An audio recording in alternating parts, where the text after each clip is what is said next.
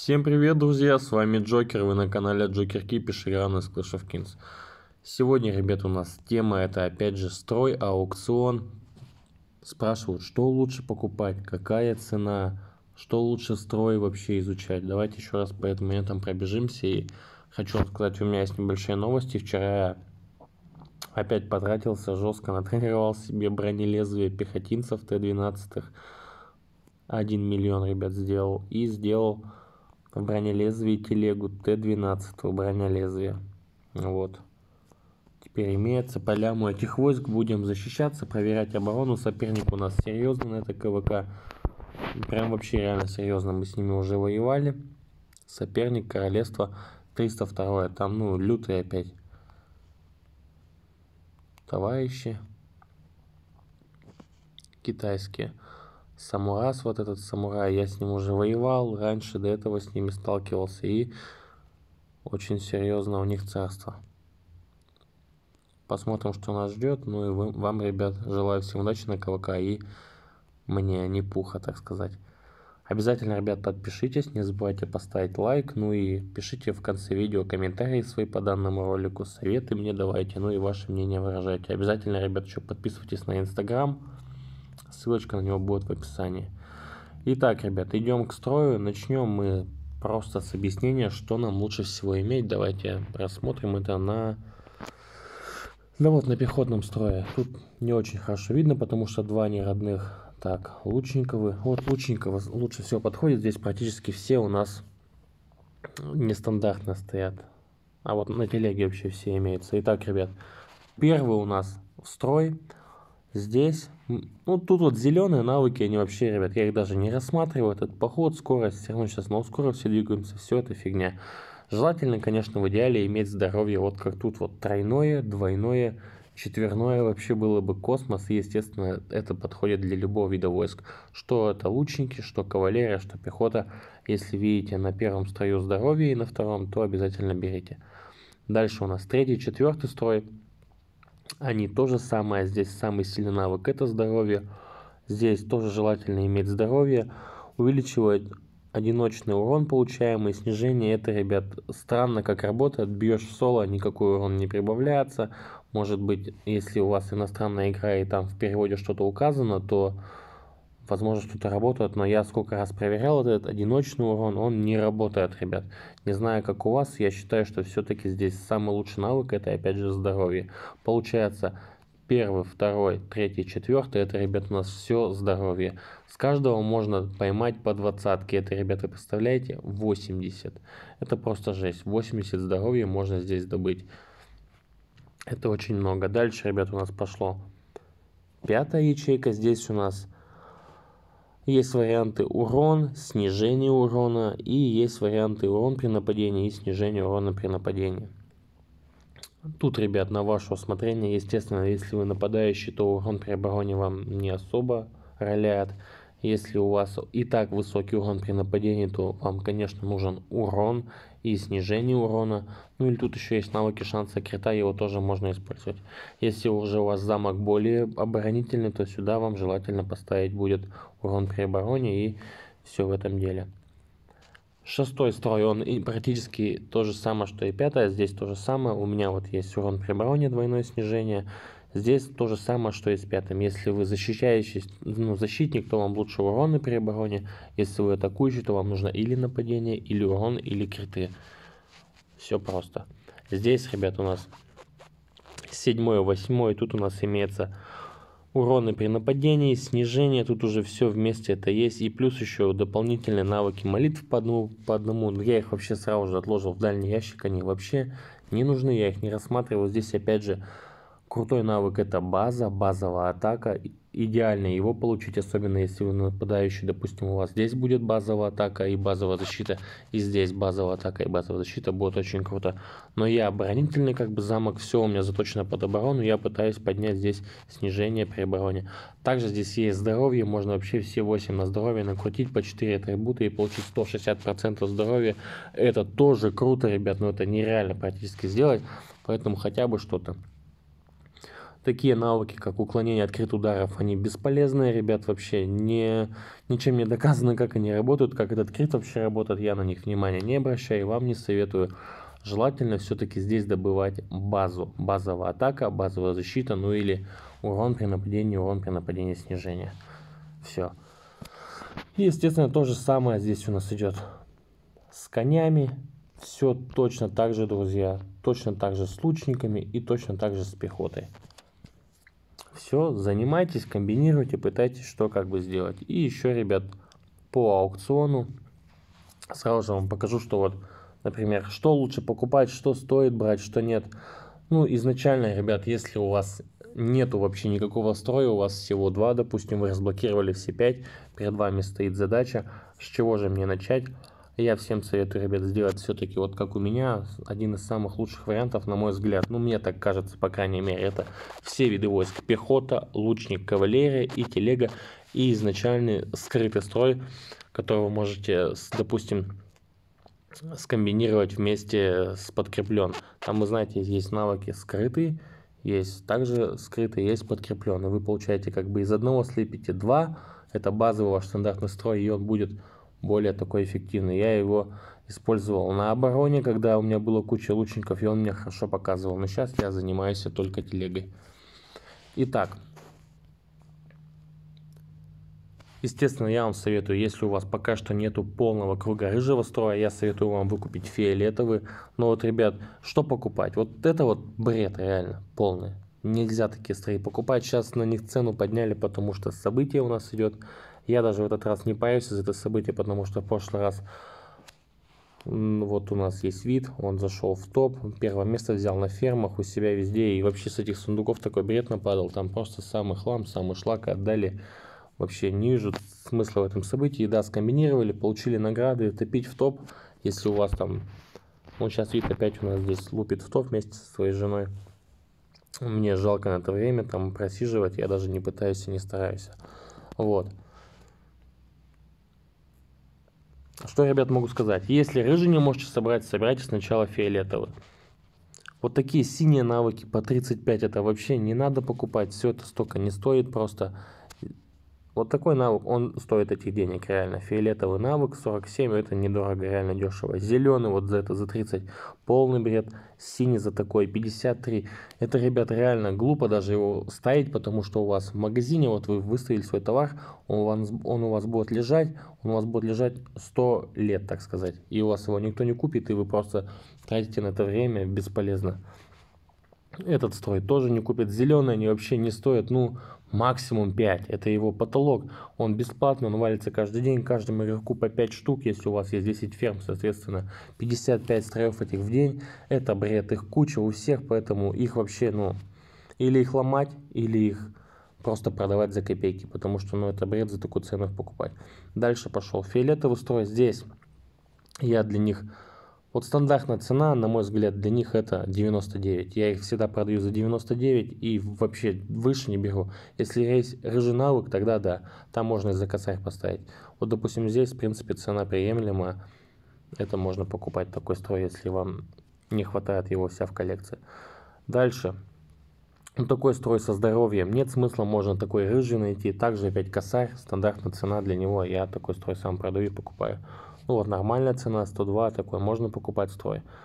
Дальше уклонение кавалерии, мы уже к этому, об этом с вами говорили, он бесполезен, уклонение непонятно как работает, его красная цена вообще, он вообще ничего не стоит, тысячу, тысячу, полторы, все.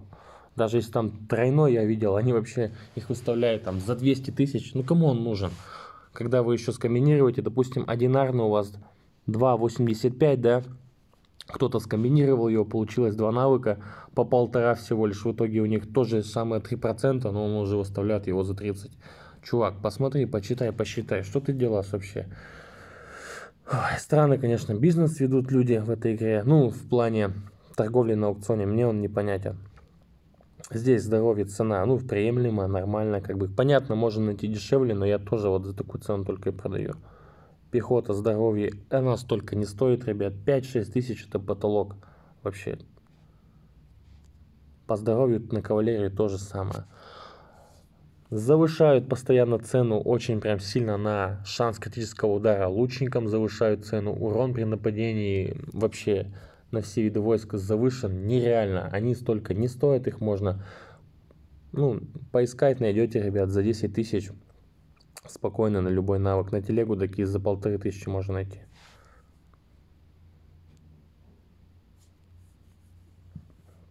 Вот нормальная цена вообще, прям спокойно можно покупать.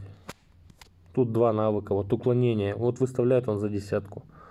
Хочет продать, но он никому не нужен, я уверен. Никто его не купит, потому что уклонение вообще неизвестно как играть. Хороший строй, нормальная цена. Здесь тоже, вот, допустим, двойной навык. Это в основном оборонительный. Снижение здесь вообще занижено 3 всего лишь процента. Здоровье 5%. И он предлагает ее за 69 тысяч. Чувак, осади коней, ну ты... Вообще бред, вот снова бред. 20 тысяч это просто потолок для этого строя. И у него его не купит никто. А если купит человек какой-то, то он просто глупый или совсем играть не умеет. Цена этому строю, ну 15-20, это в лучшем случае. Ну уж не 69, там 70.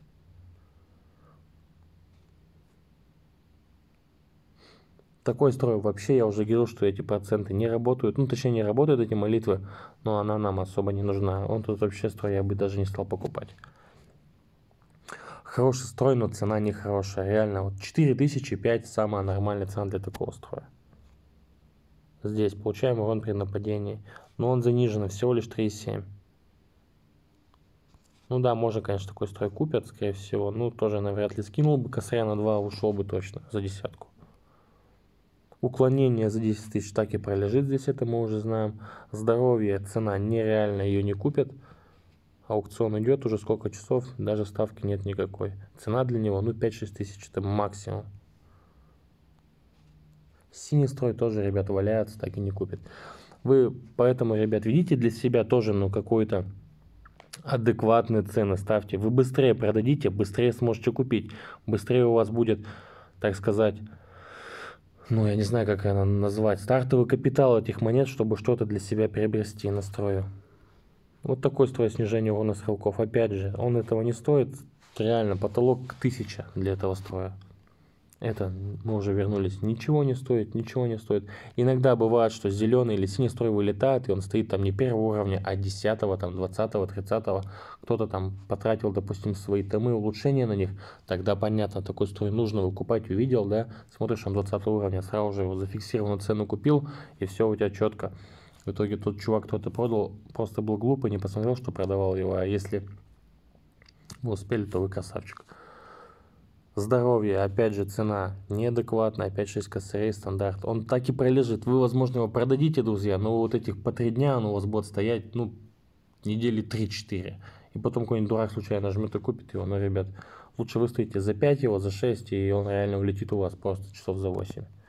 Этот строй, ну, не знаю, вряд ли его купят. Телега, получаем урон при оборвании. Ну, в основном их покупают для синтеза. Тоже не купят, скорее всего. 1700 нормально бы ушла. Здоровье на телегу 5 косарей. Это вообще прошлый век, полторашка, крайняя цена. Лучники, базовая защита. Ну, тоже тут пятерик. Ну, возможно, тут он продаст. Но вряд ли тоже. Ну и, ребят, нереальные цены на строи, где у нас там... По... Вот, нормальная цена для строя. Его купят 100%. Строи, где имеется там по 4 доп. атрибута, по 3, тут вообще по миллиону их продают, по 700 косарей. Вообще полный бред, реально. Не купят их просто, просто не купят. Это все тоже никто не купит. Вот это, возможно, купят. И то навряд ли.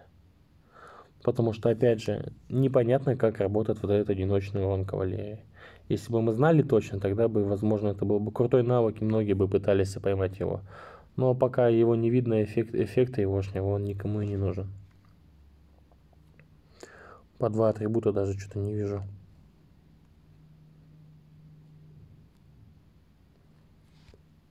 Он при обороне. Вообще, ребят, если вы хотите, чтобы у вас прям быстро купили, Рыжий строй вот, ну, за пятихатку урона при нападении не точно купится. Тут вот цена опять неадекватная. 4700. Для рыжего, для фиолетового строя это бред. Для рыжего можно купить. Он сразу просто улетит вообще мгновенно. Его и за 7, за 8 выстоишь, он улетит, буквально только поставил, уже выскочит. Но этот, этот простоит. И вы, ребят, потом у себя будете ставить, ага, видите, урон. Хотите продать, ну за косарь его положите, его заберут у вас сразу же.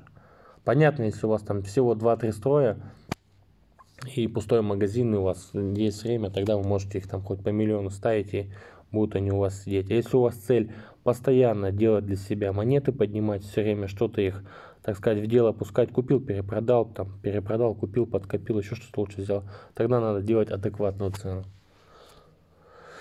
Урон при нападении, здоровье, снижение урона стрелков. Ну, тоже вряд ли, конечно, купят. Было бы двойное, нападение, наверное, бы взяли. Но тут, видите, опять занижено проценты. Не забывайте на это смотреть.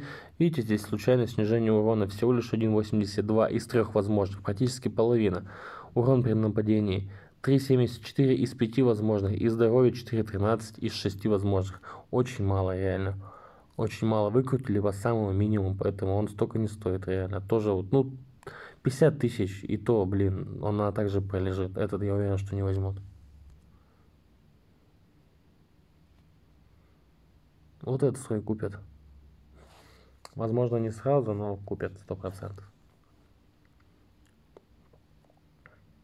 Конечно, можно искать удачу, так сказать, и искать вообще строи, грубо говоря, конные там всякие по тысяче, по две, по три, они реально есть, люди их покупают, бывает тут выставляют, и можно тоже урвать куш для себя.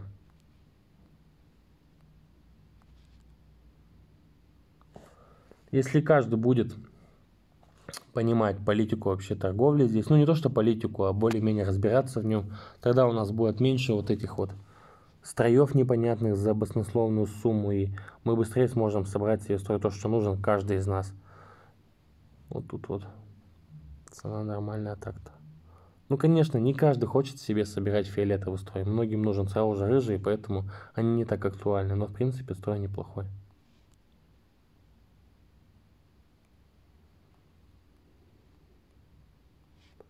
Давно, кстати, я не видел строи с уровнем выше первого, но раньше бывали поначалу.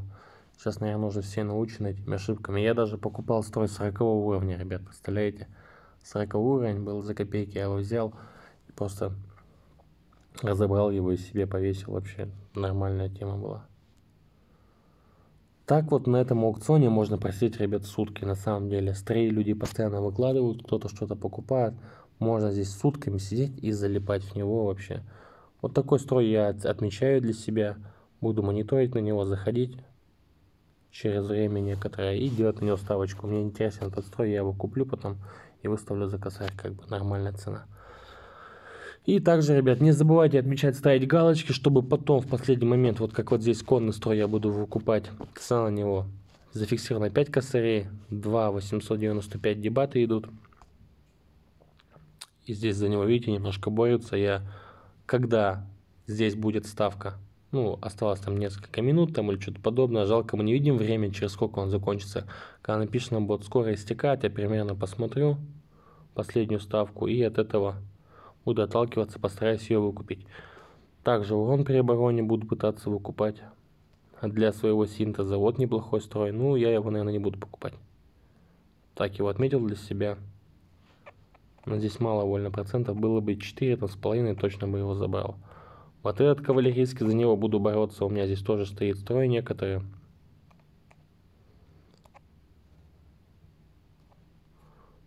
Выкупленный вот уже на него ставка у меня стоит. Не у меня, а кто-то покупает. Его будут забирать.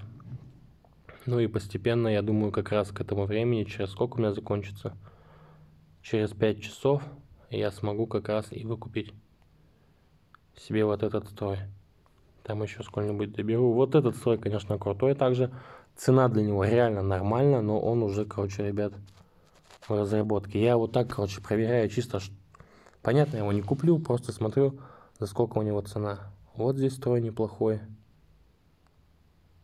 Тоже, возможно, буду забирать, чтобы за потом продать. Вот этот строй, вон при нападении нормальный. Цена 300. Уже его кто-то берет, но я не хочу зафиксированным брать. Подожду, может смогу урвать. Здесь урон при нападении нормальный на телегах. Ставки пока что нет, не особо он кому-то интересен. Но этот стой реально крутой. Потому что здесь, смотрите, база, ребята, осадных орудий 2,98. Это практически максимум, не хватает только на 2%. И урон при нападении практически максимальный. Это крутой строй, реально. Просто на телеге мало кто играет, а я не хочу его за всю сумму брать. Ну, 20 это дорого, а вот если повезет за восьмерку, я его по-любому буду забирать. Вот строй отличный. А, нет, это, ребят, не то. Это фигня. Тут у нас он наполовину нападающий, наполовину оборонительный. Было бы урон при нападении снижение, было бы круто. А тут нападение, оборона как бы не то, не все, и проценты ниже среднего. Так, вот у нас базовая защита осадных орудий, хороший строй, реально тоже двойной, и цена приемлемая, реально, такой можно взять. Здесь тоже у нас получаем мы, тоже можно взять такой строй. Это я вам показывал, за что я бы стал бороться. Непонятно, мне монет на все не хватит, я потом со временем что-то буду выкупать себе, что-то оставлять, а так цена хорошая вот для этих строев. Получаем урон при обороне, телеги вот 1800. На них, в принципе, практически везде уже стоят ставки, потому что люди понимают тоже, что надо покупать. Вот строй, за который хочу бороться. Снижение урона кавалерии 2.78. Это реально круто. Этот строй я... Пятый у меня так-то есть уже место. Шестое, точнее, хорошее. Его или надо будет комбинировать, или его можно будет продать. Реально зафиксированную сумму за двадцатку его заберут 100 пудов просто. Если мне повезет, то я выкуплю за десятку. Поборюсь с ним на аукционе, то я его перепродам потом подороже. Хороший тоже строй, цена тоже приемлемая для тележников. И он тут даже не зафиксирован, я просто смотрю, чтобы смотреть, кто на них ставки делает. Получаем урон при нападении. Вот тоже двойной урон при нападении. Один выше среднего, другой пониже. И цена тоже, ну, 30 как бы тысяч это немало, но его уверен заберут. Было бы 20, все, его бы уже здесь не было по-любому что-то здесь купили, потому что есть некоторые цены вообще здесь счастливые, как бы. Вот хороший строй тоже за него по-любому будет борьба последние часа два. Мне он тоже интересен. У меня на пятом... А, нет, друзья, это пятый строй. На пятом строе здоровье не так актуально, извиняюсь. На пятом мы уже говорили, там лучше иметь урон, снижение или нападение.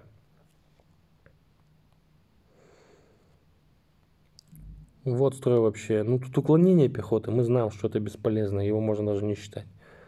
База хороший навык. То, что их два, как бы, возможно, возможно, даже никто его не купит. Я не буду покупать.